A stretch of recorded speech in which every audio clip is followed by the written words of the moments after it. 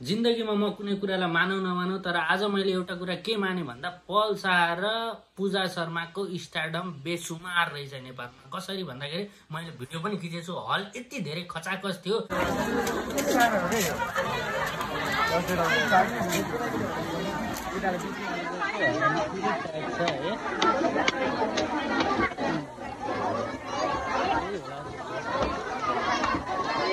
चलो जुन एक हप्ता अगाडि मैले चप्पली हाइट थ्री हेर्दाखेरि मुभी राम्रो थियो त्यो मुभीको बारे मैले राम्रो समीक्षा गरेको थिएँ र पनि मैले चारजनाको टिकट एक्लैले काटेर हलको बिजुलीको पैसा बचाइदिएर मतलब त्यो पैसा आठ सय रुपियाँ जुन थियो त्यो हलको बिजुलीमा लाग्ने रहेछ। म त्यो मुभी हेरेर बाहिरिएको छु। मतलब स्टारडमको कमीले गर्दा पनि मुभी नचल्ने रहेछ भन्ने कुरा चाहिँ यहीँबाट थाहा भयो। अब हामी आज पल्सा अहिले एकदम विवादास्पद फेजमा छन्। जेसुकै छ पुलिससँग छ इन्भेस्टिगेसनसँग छ अदालतसँग छ ती चिजहरू अगाडि बढिरहलान्। म यहाँ न्यायाधीश बन्न आएको होइन। म आज उनको मुभी उनको अहिलेको अवस्थामाथि पूर्वाग्रह नराखी एकदम सन्तुलित तरिकाले यो मुभीको रिभ्यू गर्न चाहन्छु। अब धेरै हल्ला नगरी सुरु गरौँ आजको मुभी रिभ्यू। मेरो च्यानल ऱ्यान्डम रिभ्यूको मार्फत। एउटा सब्सक्राइब चाहिँ टिक्क अहिले नै थिचिदिनु होला है। सकारात्मक र नकारात्मक दुईटा पक्षमा यो मुभीको रिभ्यूलाई मैले बाँडेको छु। कुछ मिठा हो जाए सुरुमा होइन। यसको राम्रो पक्ष भनेको अर्जुन पोखरेल तपाईँको सङ्गीत first to last every song every beat every background music सबै कुरा फ्याबुलस छ। एकदमै दामी म्युजिकल फिल्म म्युजिकल फिल्म चाहिँ दामी है। फेरि म अर्को चिजमा जाँदैछु। म्युजिक एकदम स्यालुट टु अर्जुन पोखरेल एकदमै धेरै मेहनत गर्नुभएको छ। अनि सिङ्गरमा पनि सुगम पोखरेल अन्जु पन्त र अरू सिङ्गरले पनि एकदमै धेरै मेहनत गर्नुभएको छ। एकदम ह्याट्सअप टु यु है। त्यसपछि अर्को मुभीको राम्रो पक्ष भनेको युट्युबरको जुन एउटा डलरकै लागि अथवा भ्युजकै लागि होइन एकदमै नेगेटिभ पक्षलाई मात्रै पछ्याइरहने र पोजिटिभ पक्ष कहिले कभर नगर्ने र कहिले पनि पैसाले नपुग्ने एउटा लालची युट्युबरको एउटा जुन एउटा एक एक तरिकाको डार्क साइड छ त्यो डार्क साइडलाई एकदम मजाले उजागर गरेको छ। अर्को भनेको लाइफको विभिन्न फिलोसोफीहरूलाई यसले एकदम मजाले यसमा चाहिँ जिन्दगीभरि साधना गरिरहने मान्छे पनि छन् एकदम सर्ट टर्ममा माथि पुग्ने मान्छे पनि छन् अनि सटिकतामा झ्याप्प झर्ने मान्छे पनि छन् होइन?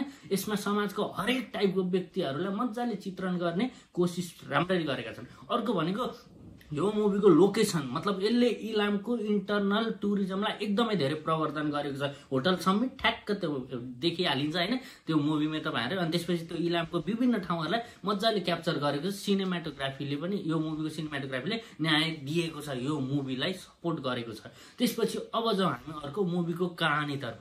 मुभीको कहानी एक लेभलले सकारात्मक नै छ तर तर तर अब अड्किने बेला आएको छ। किनभने अलिकति इमेजिनरी सिचुएसनहरू क्रिएट गराएर मुभीको कहानीलाई अलिकति अलिकति कस्तो भन्ने के पप ड्रामा भन्छ नि कोरियन मुभी जस्तो बनाइएको छ जहाँ तपाईँहरूले देख्नुभएको छ एउटालाई कसैको मुटु हुँदैन कसैको फोक्सो हुँदैन अनि एउटाले दान गर्छ यस्तो टाइपको यो स्टिरियो टाइप चाहिँ हटाइदियो यो नाइन भन्नु ल हेर्दा हेर्दा म वास्तविक प्याक्क भइसकेको छु होइन? अब कुरा गरौँ यो मुभीको प्लटको। पल विक्रम शाह जसको मुभीमा नाम पनि पल विक्रम शाह नै हुन्छ स्पोइलर नदिकन भन्छु म तपाईँहरूलाई। उनी एकदमै ठुलो सिङ्गिङ सेन्सेसन हुन्छन् यो देशको सबैभन्दा ठुलो। है? सबैभन्दा ठुलो कम्पनीसँग आबद्ध हुन्छन् सबैभन्दा ठुलो सेलिब्रेटी हुन्छन् सिङ्गिङ सेलिब्रेटी त्यसपछि उनको क्यारियर एकदम पिकमा हुन्छ। कुकरको सिटी बज्यो जस्तो यो पिकमा भयो नि अहिले। त्यस्तै उनको क्यारियर पनि एकदमै पिकमा हुन्छ।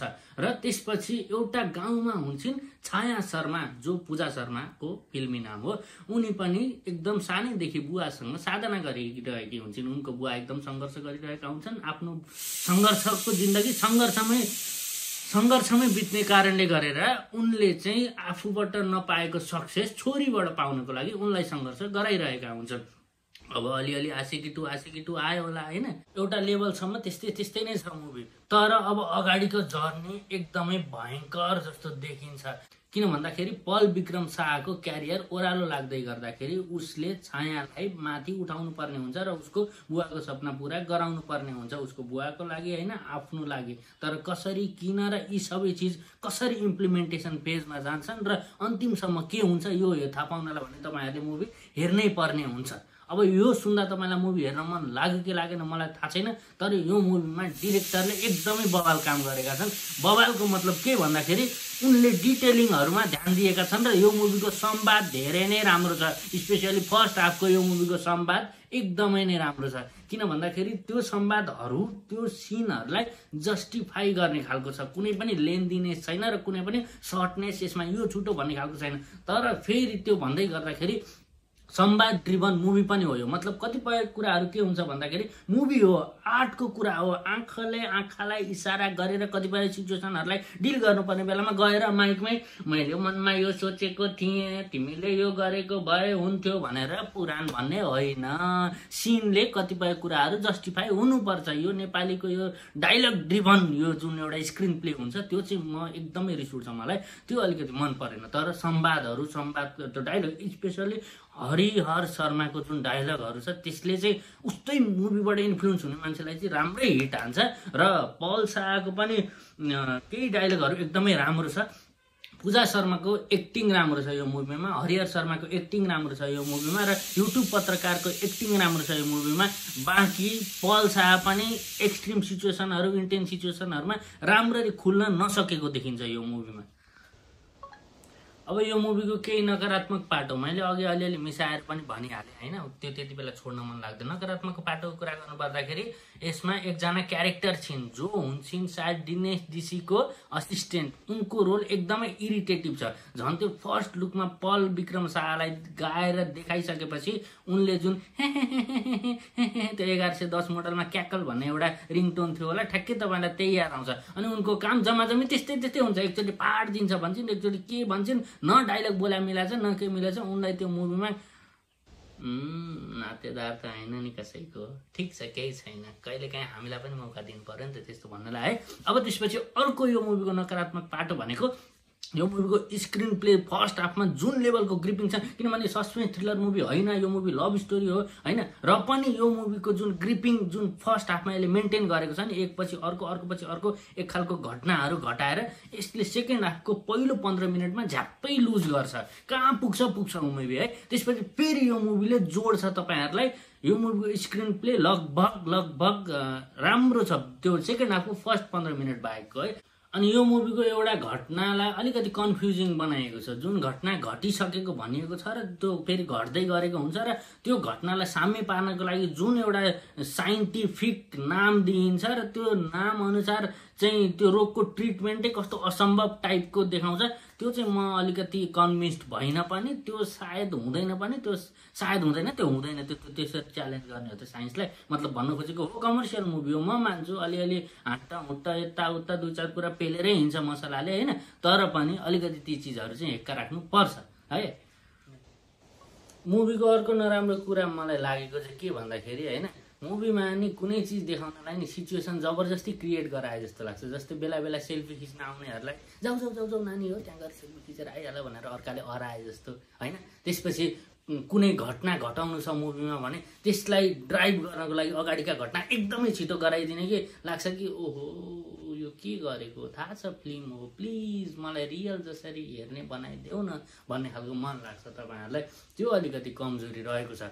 तर डिरेक्टरले होइन कसम भनेको एकदमै राम्रो कोसिस गरेका छन् मुभीलाई माथि उठाउनको लागि। सबै चिजलाई ड्राइभ गरेर एकै ठाउँमा एक त यो मुभी म्युजिकले नै थामिएको छ होइन। अर्जुन पौडेलमा कति धन्यवाद दिउँ होइन। म्युजिकल नै मुभी हो म्युजिकले नै थामिएको छ। तर पनि डिरेक्टरले लोकेसनहरूदेखि लिएर सिनेमाटोग्राफीहरूदेखि लिएर सबै चिजलाई राम्ररी परिचालन गराउन भने धेरै नै कोसिस गरेका छन्। यो मुभीको डबिङ पनि राम्रो छ।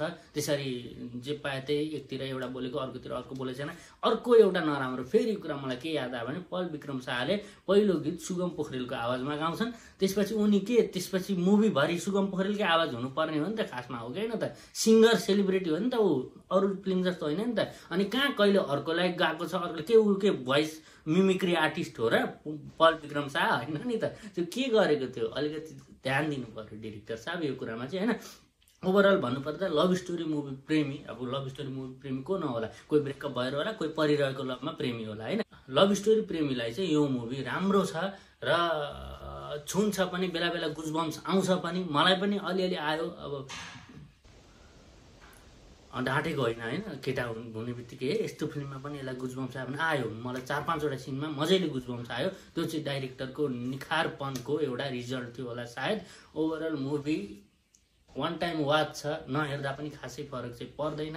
अनि अहिलेको जुन पसको पलको पलको विवादास्पद छवि अहिले अगाडि आइरहेको छ त्योसँग पनि रिजेम्ब्लेन्स हुने खालका केही सिनहरू मुभीमा छन्। गएर एकचोटि हेर्नु होला। अब पल र पूजा शर्माको फ्यानलाई मैले भन्नै पर्दैन। उहाँहरू कसरी हलमा आउनु हुँदो रहेछ मैले देखिहालेँ आज होइन? अब बाँकी जो पनि मुभी प्रेमी हुनुहुन्छ उहाँहरूले पनि नहेर्दा पनि घाटा जाँदैन। हेर्दा पनि घाटा जाँदैन। मतलब भन्नु खोजेको त मुभी त्यो लेभलको इम्प्याक्टफुल या मुभीमा कमेन्ट गर्नलाई त्यो लेभलको राम्रो र नराम्रो इन्टेन्सिटी नभएको कारणले गर्दाखेरि एभरेज भएको कारणले गर्दाखेरि सायद मेरो रिभ्यू पनि अलिअलि खल्लो लाग्न सक्छ तपाईँहरूलाई। इट्स फाइन कहिलेकाहीँ यस्तो हुन्छ। By by